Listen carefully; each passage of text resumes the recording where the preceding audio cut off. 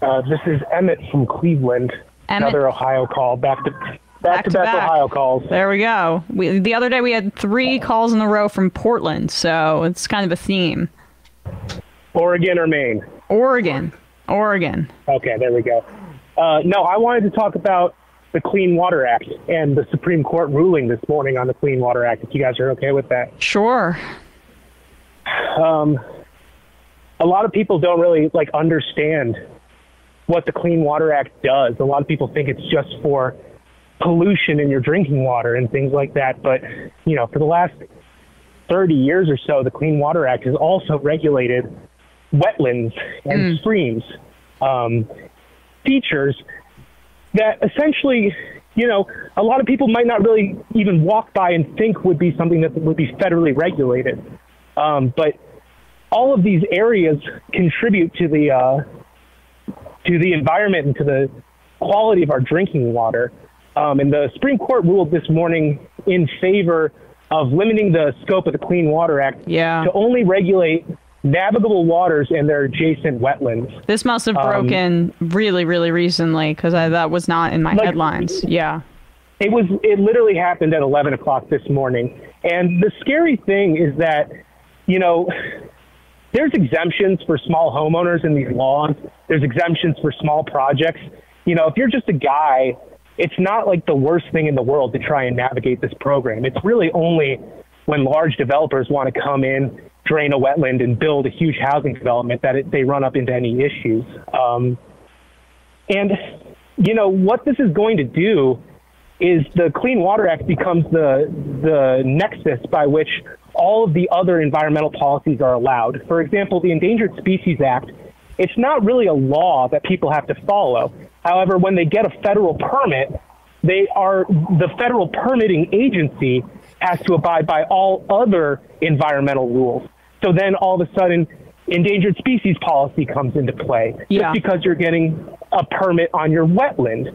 And so I mean what we're going to see is like a degradation of the water quality across the United States, a degrad- uh, an increase in the deforestation, but also just a general, a general disregard for all of the other environmental policies that really are only able to be enacted because they're tacked on to these federal permits.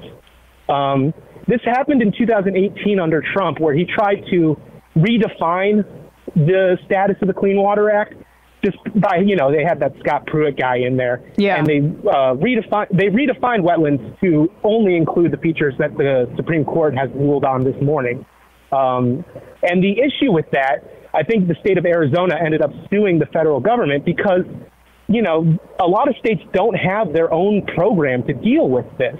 And it, it gets into a situation where gigantic rivers, you know, like the Colorado or something like that, could potentially be have no protection whatsoever. Uh, yeah, Um, and the Colorado, we're already dealing with massive problems with the like lack of water in the Colorado River and how important that is for the neighboring um, states who like rely on that as a source.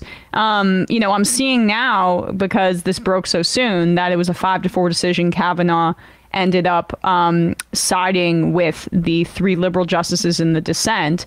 But to your point, it's less about what like this ruling is specifically uh, addressing. It's the fact that the Supreme Court is now opening the door to place significant restrictions on the ability of the administrative state to make scientific and like academic determinations about what they're going to do with regulations. Like they're already infringing on the EPA's discretion in this area, which is what is super concerning. uh, Like not just for Exactly. the EPA, but It's- for other agencies too.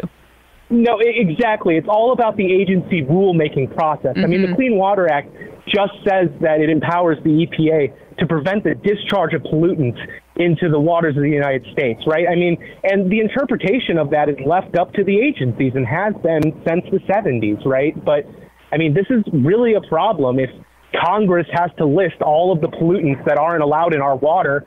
Sounds like we're going to get a lot worse water around here. Yeah, and just an example of where the conservative movement is at. You say the 70s, Clean Water Act under Nixon.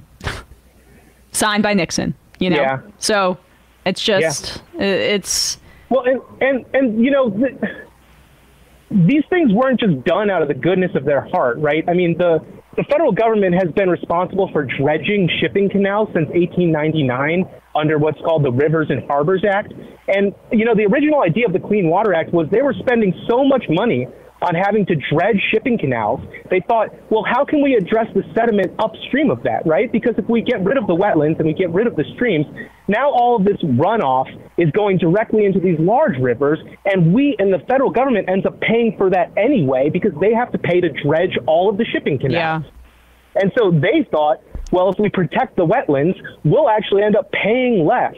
And so, I mean, this is it's. But the modern so Republican backwards. Party doesn't care about the government paying less or more. It should be. It's about like offsetting costs that corporations might have to engage in or might have to pay, and making sure that they have to pay less. But know? it's, I mean, it's just so psychopathic because, Totally. like, they live in this country. They drink this water. They're, you know, they don't they have neighbors and friends who are going to live in homes that are going to get washed down streams in unregulated flood areas. Like, it's just so bizarre. I, I totally agree. Um, it's just, yeah, we'll, we'll let you go now, uh, Emmett. But it is um, just like eh, the the the restriction on the ability, or honestly, on like the fungibility of uh, agency authority to move with the times and understand new problems as they crop up. That's the thing that's inc- that's concerning. You know, they're trying to freeze authorities and not have it be like something that changes with the time as it should because science changes with the times. Absolutely. Yeah. I just want to say you guys are great. Emma, it's been awesome listening to you. Uh, rest in peace to Michael, and you guys have a great day. I appreciate that. Thank you very much.